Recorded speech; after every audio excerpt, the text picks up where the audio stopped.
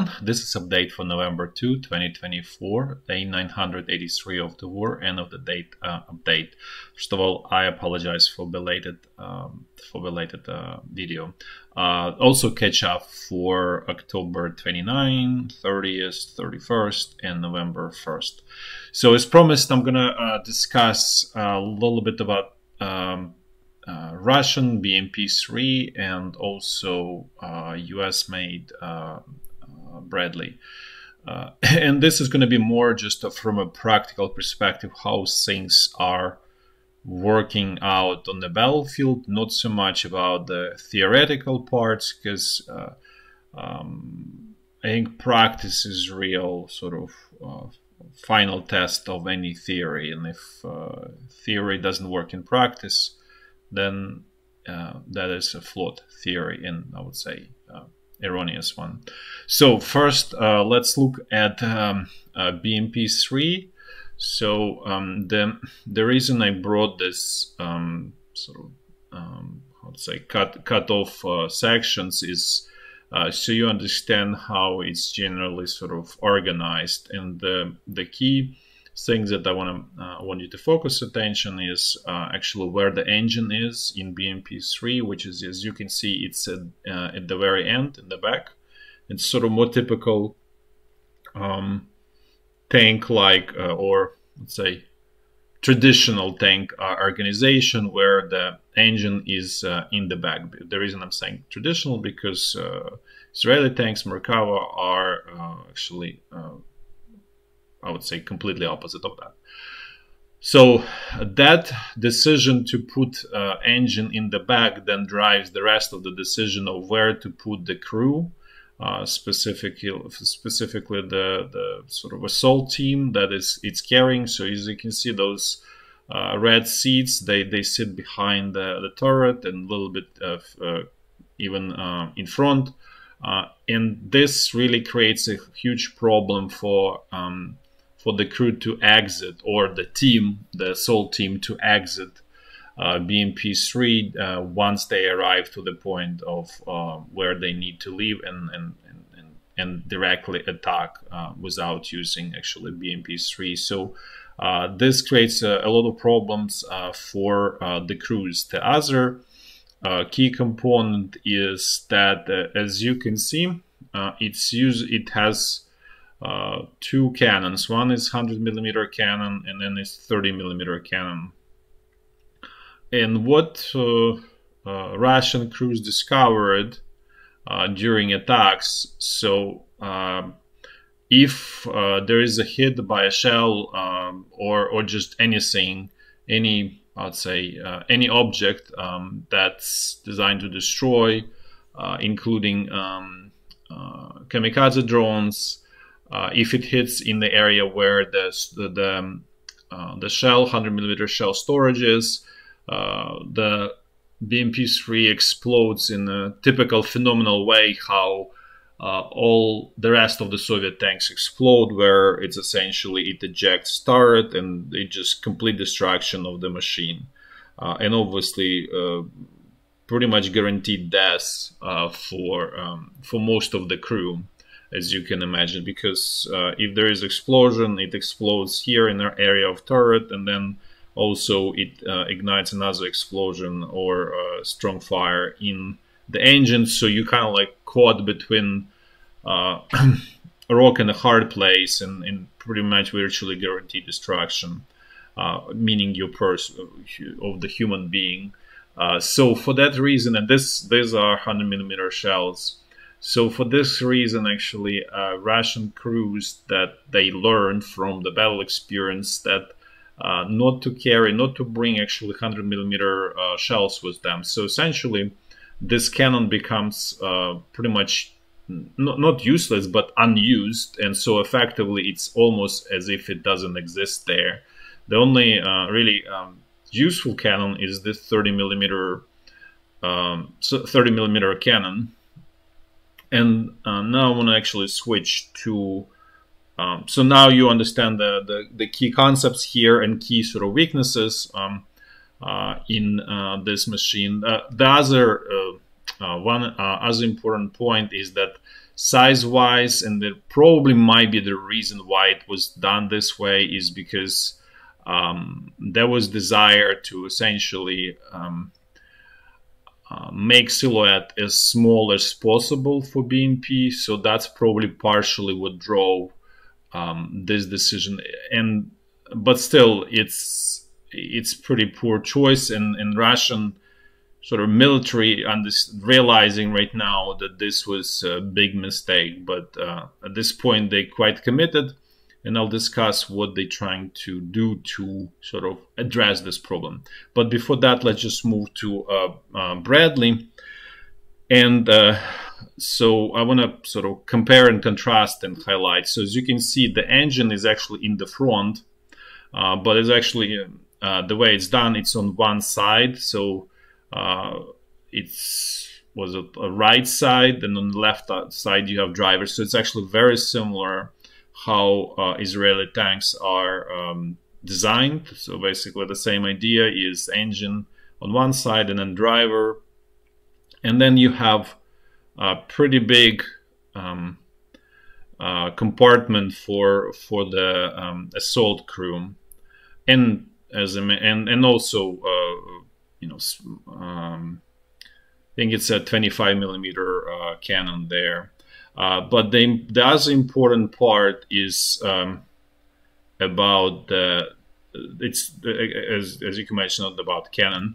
Um, the other important part is that if you look, the exit is extremely easy. You essentially have this uh, huge, uh, call it gate, whatever you call it, and it uh, it goes down, and and essentially entire crew can exit or assault uh, assault team can exit very quickly um, uh, this uh, machine. So what I'm trying to say is that in, on the paper, um, it may look, and, and that's the, the sort of moral of the story.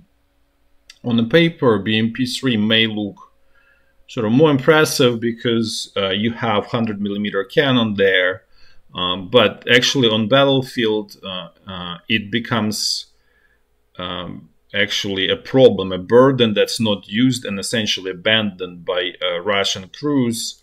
Uh, at the same time, um, Bradley has strong advantage in terms of its how it's organized and where and ease of uh, exit uh, for the assault crews, which is uh, very effective, um, and also um, the the fact that um, Bradley doesn't have, let's say, 100 millimeter shells or any any any high caliber shells. The if some if if it got hit, it the survivability of the crew is is very high. It's much much higher than BMP3, uh, and so as you can imagine, um, that's one of the reasons that. Uh, Bradley is actually um, something that's uh, very popular in uh, Ukrainian army, and I would say in general uh, um, soldiers uh, like it.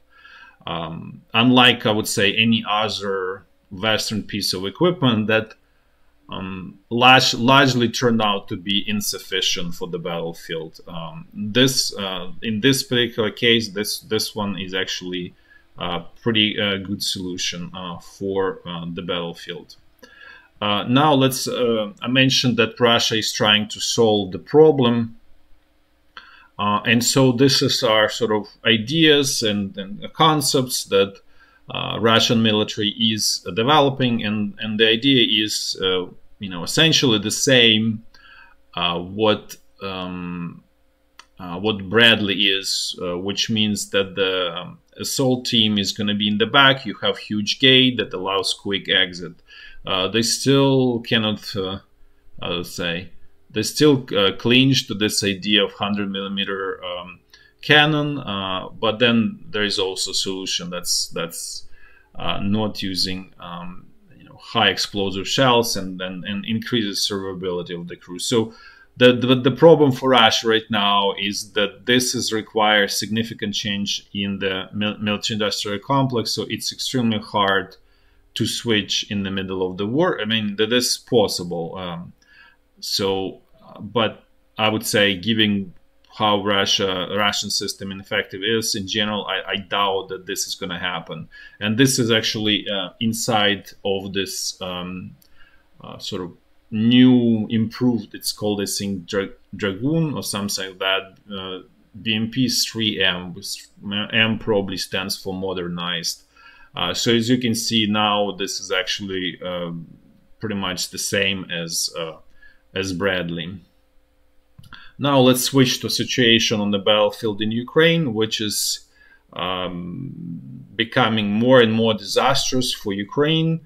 Uh, I discussed this for many times. Why? It's actually not because um, um, lack of equipment or uh, Russian forces having uh, more troops on the ground. That's actually none of that is actually true the root causes are essentially two, the, and the main one is actually motivation of Ukrainian soldiers went down because actually due to internal pol- uh, political situation in the country where um, you see um, injustice. I would say the one simple explanation that encompasses everything is injustice uh, in the country, and and some one of the symptoms of that is obviously uh, corruption, but corruption is is really a symptom. It's not truly root cause uh, of anything. And um, but um, I would say extremely uh, going back to this injustice that's really driven by uh, extremely incompetent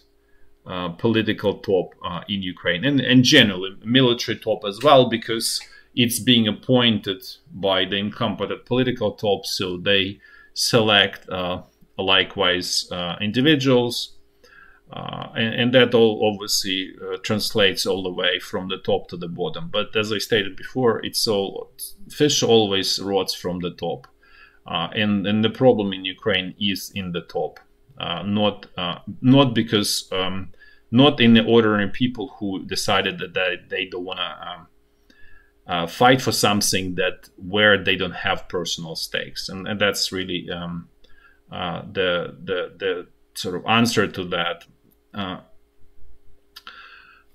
uh, and then now let's uh, start. I'm going to do a walkthrough in a clockwise fashion, starting from very north. So first situation in the Kursk region of Russia, uh, which is turning to uh, probably um, political disaster slowly but surely for um, Ukrainian president and his group uh, where uh, Ukrainian forces are slowly but surely being squeezed out.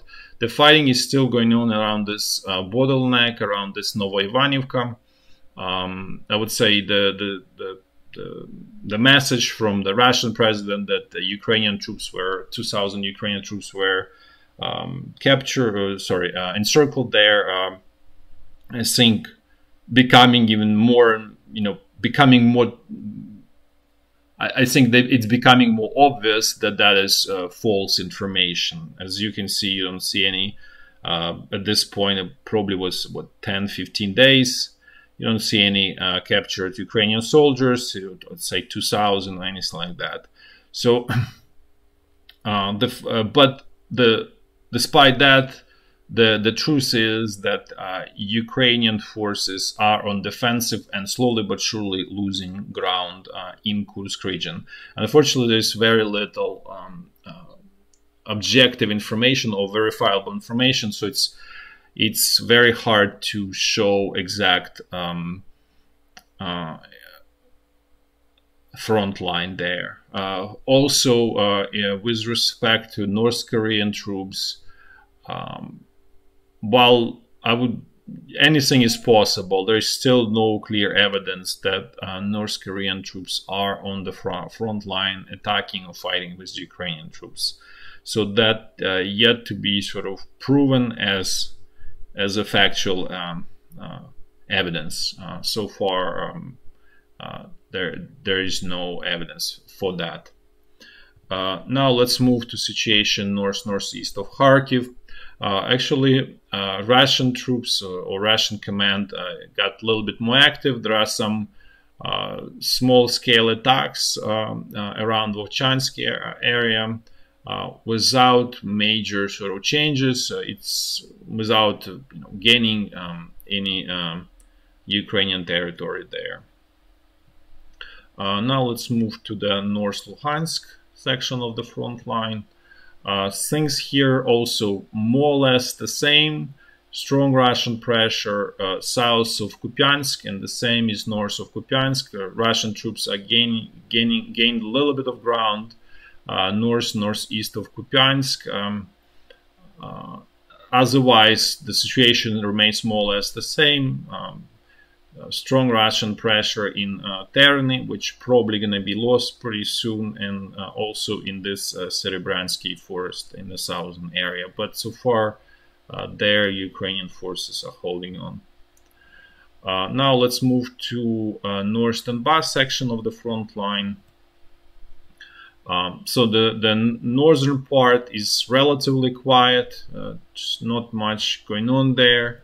Uh, the southern, the Russian pressure continues around Yar, north and south, the typical pincer, textbook pincer strategies that Russian uh, command is uh, employing, but um, uh, sort of the problem for Russian side is that uh, they um, don't have enough forces or resources there because some of them were actually taking to Kursk region. So think 106 uh, Airborne Division was taking there, uh, probably some other um, some other units as well. And so then, um, so then Russian troops don't have enough sort of punch power um, to get through Ukrainian defenses. And so so far, lying more or less holding on there.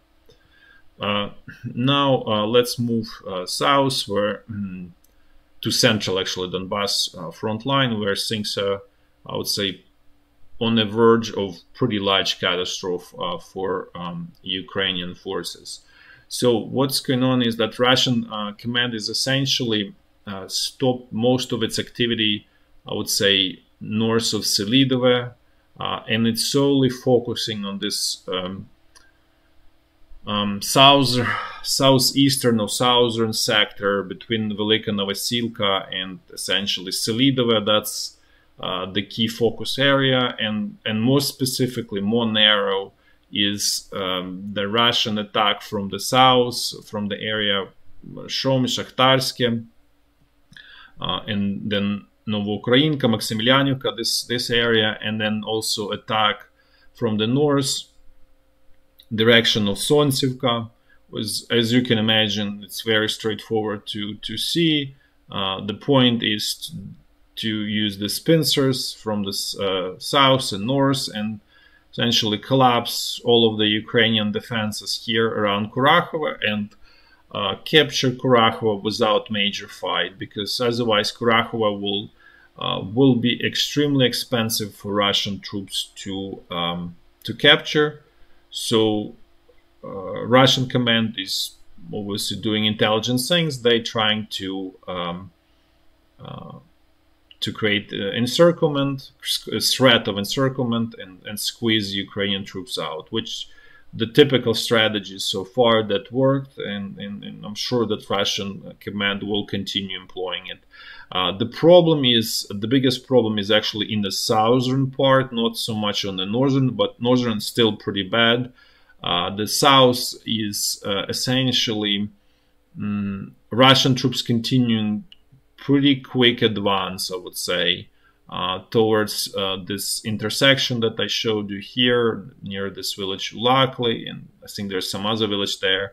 But uh, the point is that uh, so far Ukrainian forces were not able to stop advance of Russian troops, uh, even though Ukrainian command brought in 128th Brigade, but uh, it's um, it, it, was not able to stop. and one of the let's say, be, besides that reason that they stated about motivation uh, and uh, general feeling uh, in Ukrainian army, uh, there is sort of specific, more tactical reason is uh, there is no real defensive positions there prepared, and so uh, essentially, um, Ukrainian forces don't have good defensive positions. It's really just fields and uh, very shallow uh, trenches that don't provide adequate um, uh, defensive capabilities, let's put this way. So uh, as a result, Ukrainian uh, uh, troops basically falling back. In the way it goes, it's not far from the moment when uh, will need to be evacuated by Ukrainian forces, um, as you can imagine. that probably will create even more internal tensions in Ukraine, political tensions, and, and, and, and so on. Uh, so this is a little bit more updated map uh, on the situation around uh, Kurakhove. Uh, so as you can see, Russian troops managed to uh, quite quickly advance from, let's say, Novoukrainka to Maksymivka. They captured Maksymivka, and so this this is becoming quite dangerous for Ukrainian forces. And and the, the intersection I was mentioning this uh, between Andriivka and Kostyantynopil and essentially even coming somewhere closer to this line of Rozliv-Zelenivka is already essentially paralyzing all of the defenses here. And it's like guaranteed uh, for that Russian troops will capture Kurakhove uh, because the supply lines will be uh, severely constrained. So they not you know they they still gonna work but it's it's not you know you, you basically not uh, it's it's essential like uh, you know your organ is not receiving enough uh, blood eventually it dies it's just a slow death um, but it's gonna happen. And and again this doesn't mean that that russian troops somehow miracle is gonna happen and they're gonna get stopped at this line of uh, Rozliv Zelenivka. I think that, that, that this is very unlikely scenario. Uh, now let's, and this is where the situation was just what five days ago. As you can see, quite significant advance, especially from this from Novoukrainka to Maksymivka, uh, and also past uh, Yasna Polyana. And again, uh, the key point that even bringing fresh, um, fresh, uh, fresh brigade did not stop uh, Russian uh, advance, even though 128th brigade is considered pretty on on the on a good good side or better quality, more motivated unit. Uh, now let's look at the situation on the north, uh, uh, sorry, on the Zaporizhia front line.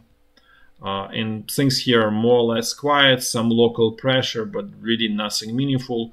Again, the, the, the simplest explanation is all of the Russians' resources are thrown into this battle around um, Kurakhove, uh, or central Donbass front line and also to Kursk region of Russia.